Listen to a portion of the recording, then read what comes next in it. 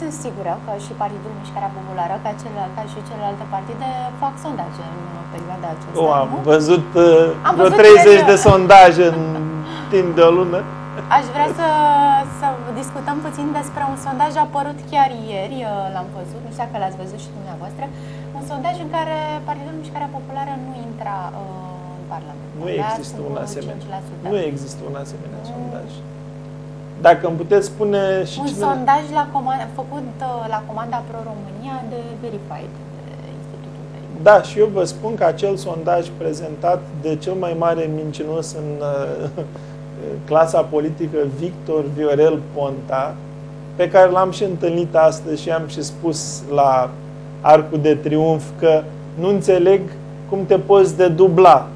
El a prezentat pe pagina lui de Facebook un sondaj unde PMP are 6% și tot el a mers la o televiziune și a spus că în urma sondajului pe care îl are, PMP nu intră în Parlament. Dar în sondajul prezentat de el, PMP are 6%, este la el pe Facebook.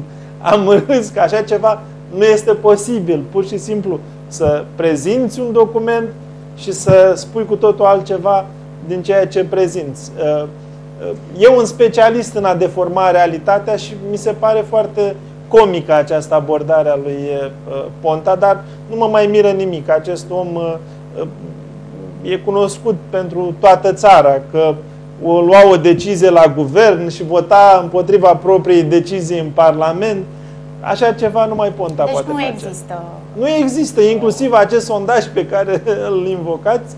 Dacă vă uitați pe pagina de Facebook a lui Ponta, veți vedea că acolo PMP are 6%.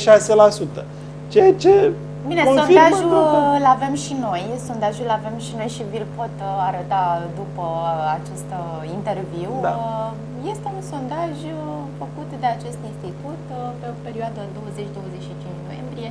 Da. Deci sondajul există, că am intrat și noi în posesia lui. Acum nu știm uh, ce a postat uh, domnul Victor Ponta pe Eu am pagina sa văzut de la el pe Facebook sau- Facebook.